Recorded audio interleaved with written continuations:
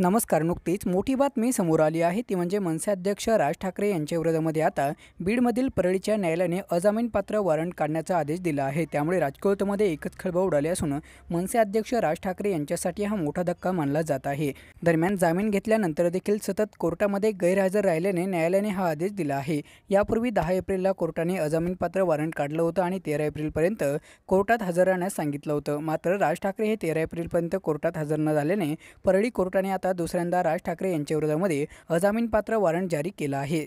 दरम्यान राज ठाकरेंच्या विरोधात हे दुसरं अजामीनपात्र वॉरंट असून याआधी सांगलीच्या न्यायालयाने राज ठाकरे यांच्या विरोधामध्ये वॉरंट बजावलं होतं. दरम्यान हे अजामीनपात्र वॉरंट दोन हजार आठच्या एका प्रकरणात जारी करण्यात आलं होतं. त्यामध्ये त्यांच्या विरोधामध्ये आय पी एस कलम एकशे त्रेचाळीस एकशे नऊ एकशे सतरा आणि बॉम्बे पोलीस कायद्याच्या कलम एकशे पस्तीस अंतर्गत गुन्हा दाखल करण्यात आला होता.